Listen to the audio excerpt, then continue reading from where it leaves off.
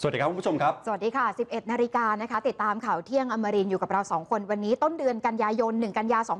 2562 กับคุณเอกลักษณ์ ดิฉันธนันทพัฒน์และคุณชวาลาล่ามภาษามือค่ะ ก็ทักทายคุณผู้ชมนะฮะที่รับชมพวกเราทั้งสองคนผ่านทางหน้าจออมรินทีวีช่อง 34 แล้วก็อีกหนึ่งช่องทางคุณผู้ชมสามารถแสดงความโอนไปหมดแล้วทางด้านของเจ้าหน้าที่เองเนี่ยคือสำคัญที่สุดในช่วงน้ำป่าทะลักคือผู้ป่วยอืมข้าวของยังไม่ทันเก็บนะคะ นี่คือน้ำทะลักเข้าไปที่ห้องเก็บยา